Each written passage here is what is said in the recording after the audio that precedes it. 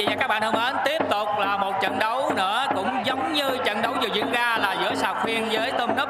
Khi mà tam Sóc gặp Ombuye, tam Sóc cùng Mỹ Tú bơi bên phía khán đài trong trang phục màu đỏ đậm gặp Ombuye trong trang phục màu cam.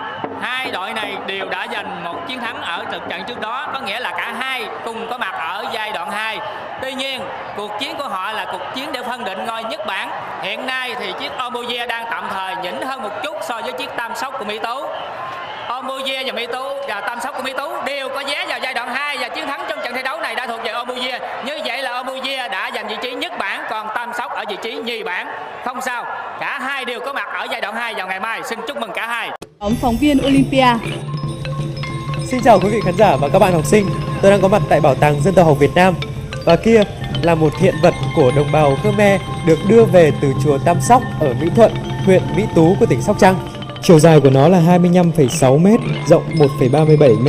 Hiện vật này dùng để đua trên sông nước, một sinh hoạt cộng đồng không thể thiếu trong lễ hội vào ngày 15 tháng 10 âm lịch hàng năm của người Khmer. Với 52 mái chèo, hiện vật này đã tham gia 18 cuộc đua và giành được 14 giải nhất, 4 giải nhì, trong đó có giải nhất tại cuộc đua giữa các đội của ba nước Việt Nam, Lào và Campuchia.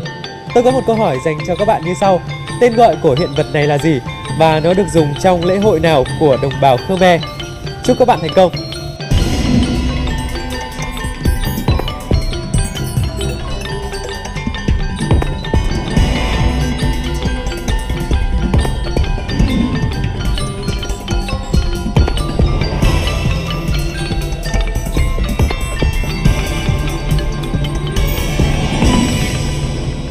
Xin mời ba bạn thí sinh còn lại.